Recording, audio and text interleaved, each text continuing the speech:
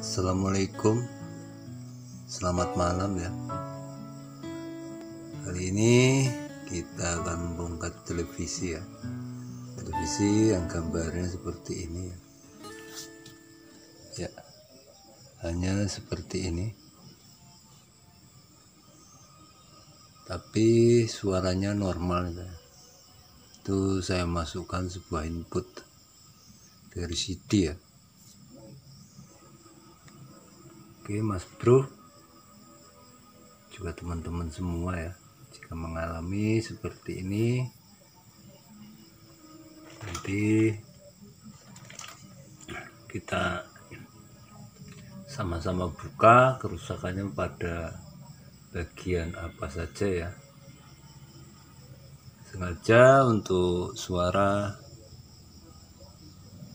tidak kami besarkan volume ya. Takutnya nanti kena copyright ya mas bro ya. Ya di meja kecil ini tempat saya kerja saya akan perbaiki televisi ini. Nampaknya televisi ini ringan ya kerusakannya. Jadi duit datang kenapa harus ditolak ya. oke kita lanjut ke bagian belakangnya ya ya setelah kita buka ya untuk mesin televisinya seperti ini kita lihat dulu apakah ada kita lepas dulu ya konektornya ya. Untuk cek-cek yang menempel ya kita lihat daripada elko elkonya ya apakah ada yang menggelembung ya kita lihat dari fisiknya saja ya. Ya kita tidak menemukan elko yang menggelembung ya. Oke kita balikan saja untuk mesinnya ya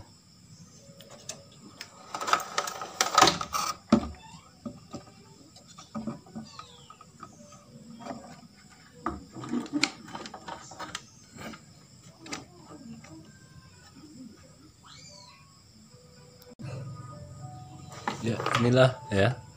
Mesinnya tampak dari belakang. Waduh untuk multimeter saya ini agak gelap mas bro. Sudah sudah usang nih usianya.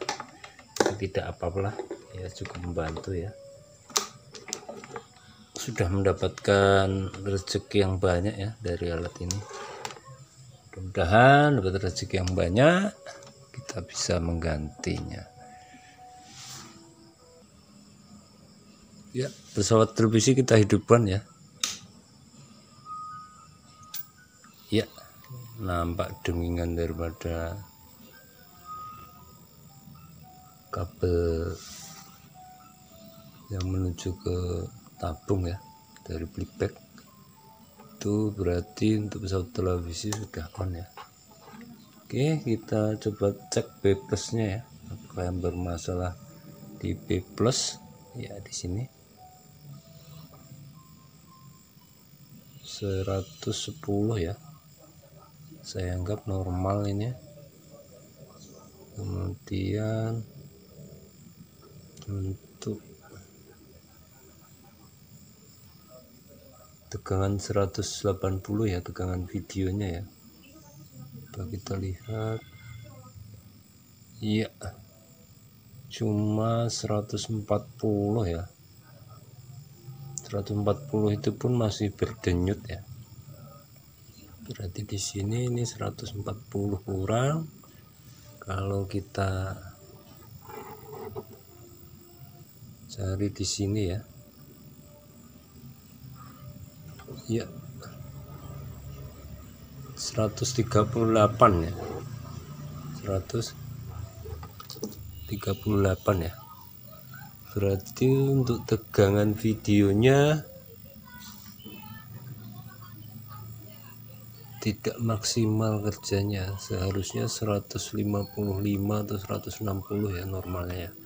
Oke kita lihat saja untuk komponen elko 180 voltnya ya. Kita buka saja. Ya pesawat televisi kita balikan lagi ya. Kita lihat ya. Ya letaknya ini ya. Ini ya. Elko ini. Ya ini. Ini. Kita lepas nanti yang satunya di di sini ya. Ada dua itu ya elko 180 nya di sini. Nanti kita ganti saja keduanya dengan yang baru ya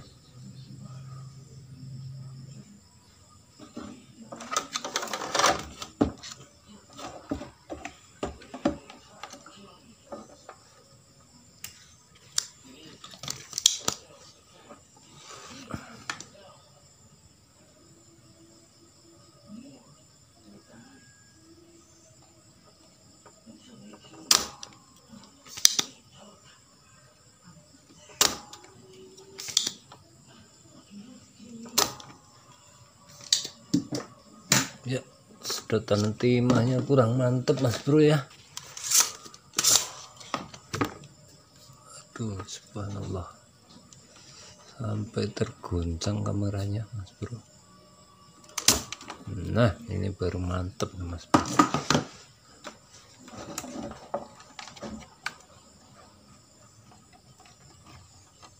Kita ambil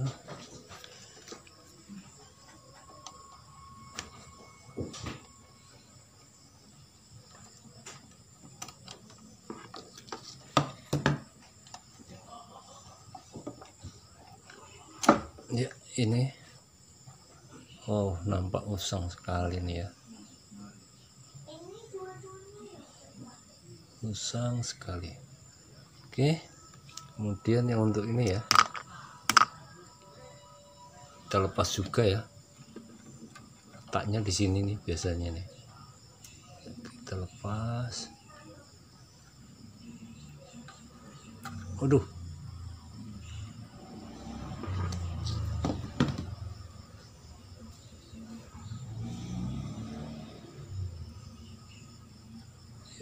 ini kakinya panjang sebelah. Lihat dari bodinya seperti ini ya. Oke kita tidak usah mengukur aja ya. Sudah nampak ya. Ada bekas-bekas kepanasan nih kita ganti aja ya keduanya. Dengan yang baru ya. Saya sudah menyiapkan. Oh ya ini Elko ini 4,7 250 volt. Yang untuk sini nanti ya. Untuk yang di sini. Ya di sini. Kita ganti saja dengan 47 mikro 250 sementara yang atas pakai yang ini aja ya. 4,7 250 volt.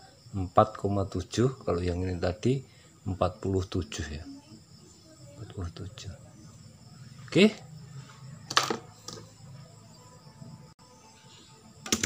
Ya, kita lepas saja. Nampaknya jalur ini pun sudah mulai rusak ini ya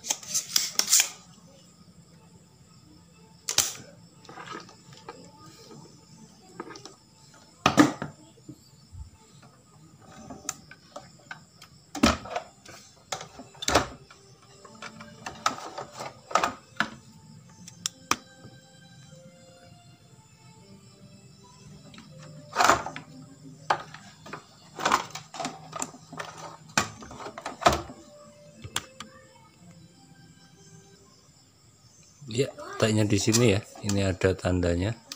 Nah, tanda garis putih ini kotak putih ini untuk negatifnya ya. Jalur negatifnya kita pasang saja ya ya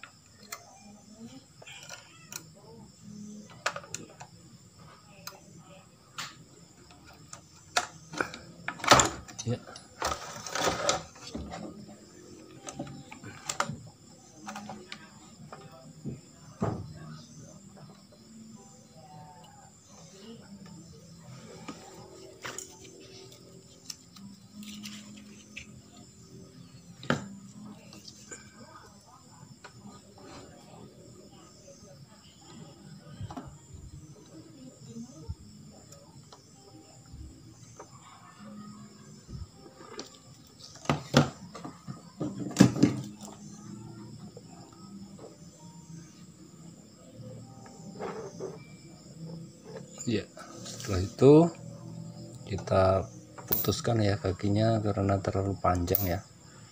Jangan sampai dia bersenggolan ya dengan yang lainnya ya. Oke kita balikan saja. Seperti ini ya. Kemudian yang di sini ya.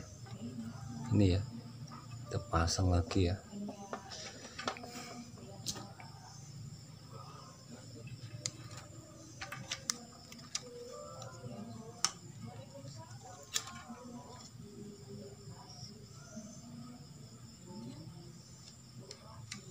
Ya ini ya ini negatifnya kemudian ini positifnya ya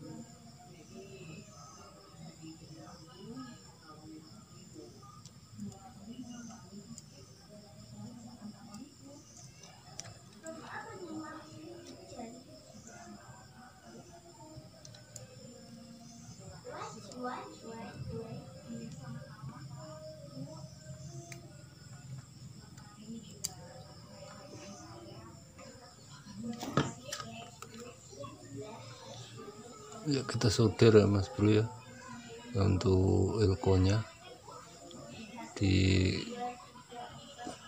RGB meternya ya. Ya udah cukup nih. Ya pesawat televisi kita hidupkan ya mah kita coba ukur ya. Ya sudah untuk playbacknya menandakan sudah bekerja ya kita ukur di 180 nya di atas ini saja ya. Tempat kita menempelkan tadi ya. Oh. Iya 158 ya. Hampir 160 ya. Saya anggap normal ya ini ya. Ya saya anggap normal nih ya. Oke kita lihat dari depan ya. Ya ini nampak dari depan ya. Ternyata seperti ini ya. Coba kita ganti inputnya dulu ya.